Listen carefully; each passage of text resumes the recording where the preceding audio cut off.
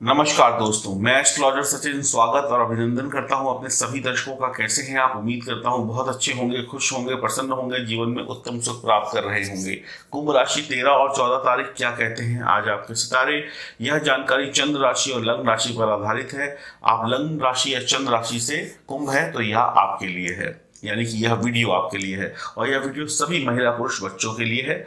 चंद्रमा तेरह तारीख को धनु राशि में होंगे, सुबह नौ बज के तीस मिनट तक। उसके बाद चंद्रमा मकर राशि में प्रवेश करेंगे।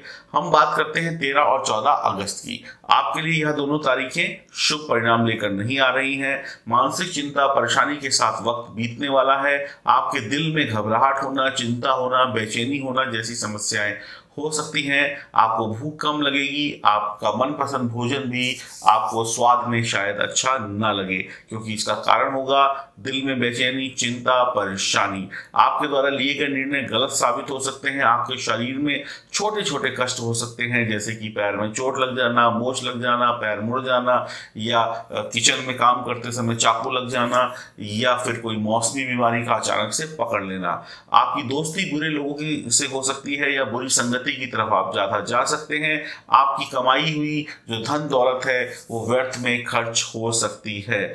आप लोगों के बीच में कम उठे बैठेंगे, यानी एकांत में रहना ज़्यादा पसंद करेंगे, जिसकी वजह से आप अलग दुनिया बसाकर बैठेंगे, ना किसी से बात करेंगे, ना किसी से चीत करेंगे, यानी कि अपनी ही दुनिया में खोए रहेंगे, खुद ही प्रश्न करेंगे, खुद ही उत्तर करेंगे। आप आलसी भी हो सकते हैं, आपका हर काम जो है, वो विवादों से भरा हो सकता है, हर काम में कोई ना कोई गड़बड़ी हो सकती है तो हर काम को करने से पहले सोच विचार ज़रूर कर ले।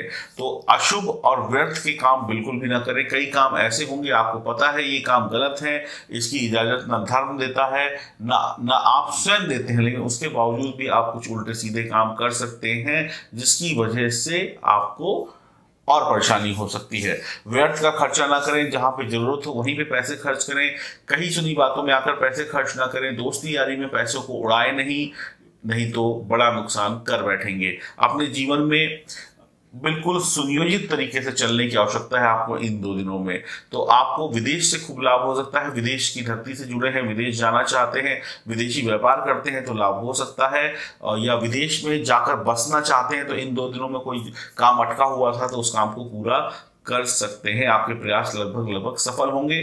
खर्चों को उतना ही करें जितनी आवश्यकता हो। बेफजूल के खर्चों से आप अपने घर की आर्थिक स्थिति, बजट को आज के लिए ही नहीं, इन दो दिनों के लिए ही नहीं, आगे के लिए भी बिगाड़ सकते हैं। धन हानि की भी संभावना है। कोई धोखाधड़ी, कोई फरेब से कोई गलत चीज़ बेच कर लेने गए थे, सोना ले आए पीतल, इस तरीके की धोखाधड़ी भी आपके साथ हो सकती है। तो यहाँ पर सावधानी रखने की आवश्यकता आपको पड़ने वाली है। यानी सोच समझकर चीज़ों को खरीदें या सोच समझकर कहीं पर निवेश करें या सोच समझकर कहीं पे भविष्य के लिए इन्वेस्टमेंट करें। नहीं तो धोखा हो सकता है।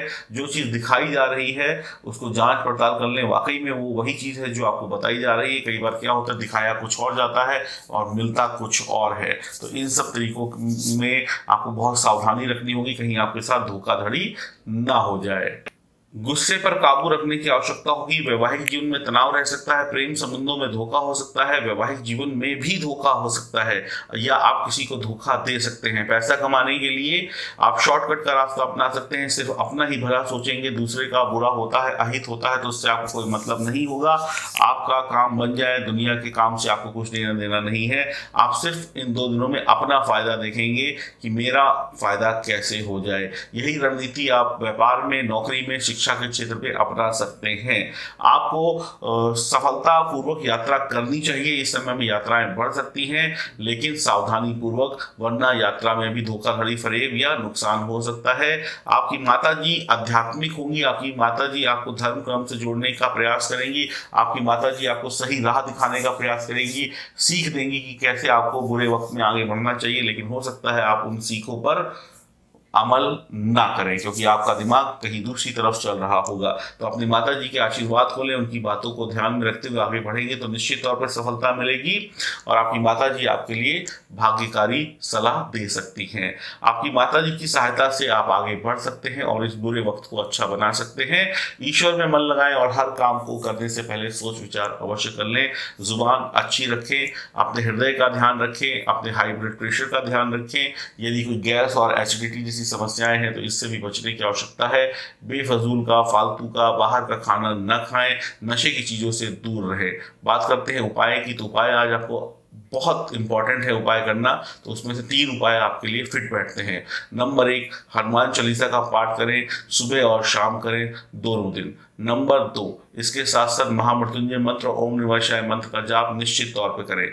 नंबर तीन, गायत्री मंत्र का पाठ और माँ सरस्वती की आराधना निश्चित तौर पर करें। और नंबर चार, और सबसे इंपॉर्टेंट अपनी माता जी का आशीर्वाद और उनकी सलाह को माने और हर काम सोच समझ के करें। और एक वैसे मेरी तरफ़ से सलाह है कि हर एक काम को करने से पहले सोच विचार के साथ साथ बिल्कुल भी क्रोध में काम ना करें, बिल्कुल भी शांत होकर काम करें और अपने दिमाग को ठंडा रखें। हरिओम नमस्कार।